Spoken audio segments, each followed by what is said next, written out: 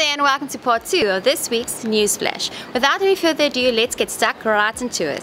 First off, we're joining Liam Brown from Pietermaritzburg who caught a beautiful diamond of 179 centimeters on a chokka slide bait at Port Durnford.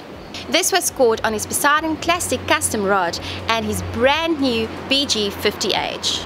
What a way to christen your reel. Then also from Durnford, Michael Now, who caught a 197 centimeter diamond.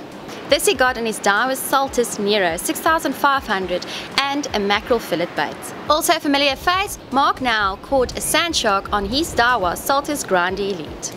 We received another spectacular catch from the north coast from Linton Premla who caught 138 centimeters, that is a 28 kilogram cob. Well done Linton, this is truly a spectacular catch. Mike Rogers shared his diamond on the new test tournament rod 14 foot 6, Saltist 6500 and 30 pound j braid. Well done Mike.